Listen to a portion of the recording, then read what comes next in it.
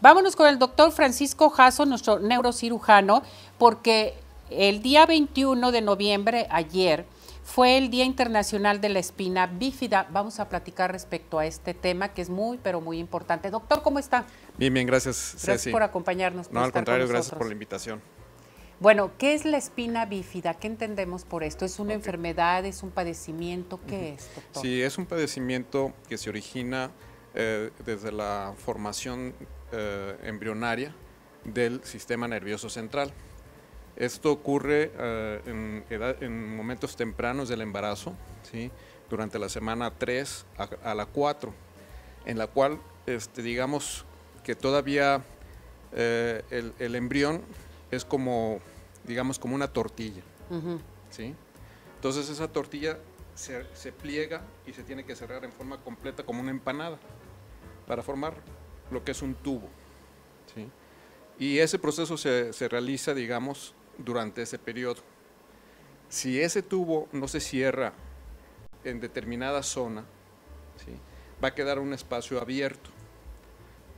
Y ese espacio abierto este, eh, va a exponer a los tejidos eh, nerviosos de la médula. Entonces es ahí donde se forma lo que es la espina bífida, o disrafismo espinal. ¿Esto qué va a traer como consecuencias? Bueno, eh, la manifestación más común de la espina bífida o disrafismo es lo que comúnmente se conoce como mielomeningocele o meningocele. Eh, ¿Cuál es la diferencia entre uno y otro? El meningocele es, digamos, eh, el sitio abierto con una cavidad quística, pero los elementos neurales que son, pueden ser la médula o las raíces nerviosas que van por la columna, pueden estar no afectados. Entonces estos pacientes tienen un mejor pronóstico, porque solamente es eh, la formación de un, eh, de un quiste que se ve al nacimiento como un globo en la espalda. ¿sí? Y el mielomeningocele es cuando en ese globo están los elementos neurales, se hernian hacia ese quiste. Esto sí va a traer como consecuencias de forma variable desde problemas eh, para mover las extremidades, ¿sí? problemas para poder eh, defecar, orinar, y o problemas completos eh, de parálisis en los casos extremos de involucro de eh, los elementos neurales en el mielo meningocele. Entonces, esto se puede detectar desde, desde la etapa ya fetal formacional con estudios de ultrasonido.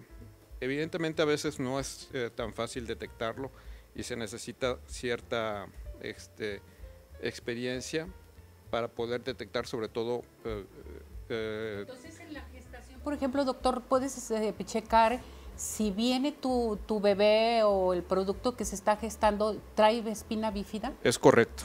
¿Y se puede hacer algo dentro de la gestación? Sí, eso es lo importante. ¿sí?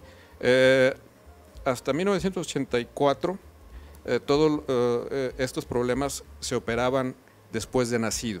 Mm. A partir de 1984 es que se introduce lo que es la cirugía para dirrafismo intrauterina. Y desde entonces se ha venido ya, digamos, formando equipos multidisciplinarios que pueden reparar este tipo de problemas durante el embarazo. ¿sí? Digamos que dentro de la semana este, 18 a la semana 25 máximo.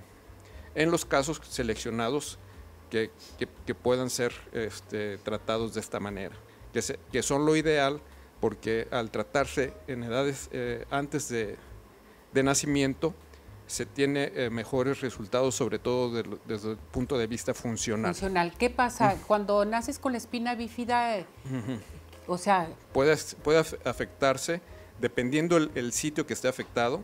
Generalmente eh, los eh, dirrafismos afectan más la parte baja de la columna, que es la porción lumbar y sacra.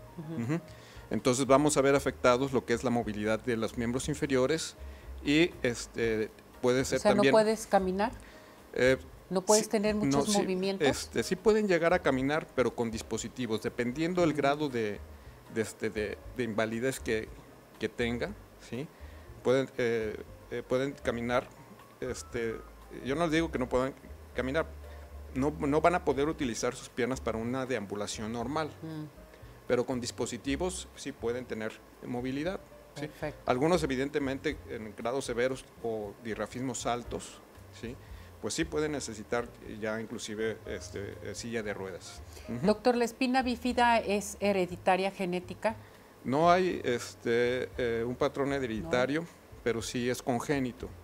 Y eh, hay factores importantes eh, que, se, que pueden eh, influir, como es la edad gestante, Mm. eh, este, en, eh, este, eh, a Por temprana ejemplo, edad. A temprana ah, edad. Ujú. A temprana edad, Así cuando eh, te que- quedas embarazada muy joven. Muy joven, sí. 15, Antes de los 16 18 años. Ujú. Ajá. Desafortunadamente en nuestra entidad pues es muy general, es un problema importante los embarazos a temprana edad y este pues eso nos hace tener eh, este altos índices de este, este tipo He de el por problemas. qué los estudios, este, eh, tu eco, el ir con el médico ginecólogo, estar, controles. checando sobre todo los controles ginecológicos que se checan eh, cuando ya una mujer de temprana edad eh, que está embarazada es cuando más se deben de checar entonces en un momento dado. Es- y sobre todo este pues la prevención ¿no? La, eh, y una dieta adecuada sobre todo rica en, en vitamina B y ácido fólico pueden este, disminuir mucho el riesgo de este tipo de problemas. Perfecto, muy bien. Doctor, si tenemos alguna duda, ¿a qué teléfono nos podemos dirigir con usted? Ajá, este, eh, directamente al 3314 1061 93 y el consultorio es el 3396 88 3308. Gracias, doctor, que le vaya muy bien. No, al Cuídese contrario, gracias. mucho. Gracias por venir, doctor. Bueno, hace